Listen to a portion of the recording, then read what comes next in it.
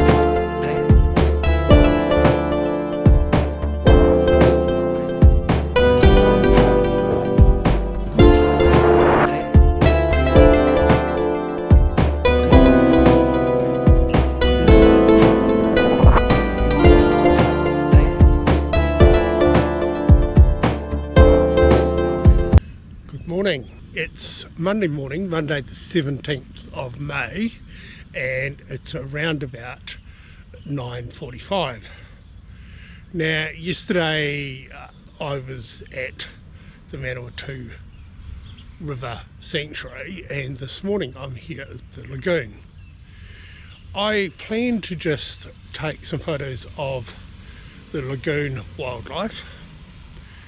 A lot of it's not native but it's wildlife and just to as a bit of an exercise using the um, the converter going from there. I hope you enjoyed the images that I've put up that I got at the uh, at the estuary and I hope you'll enjoy these as well. As well I'm planning to go to the river here because there's a spot where there's quite a few birds every now and again. So thank you.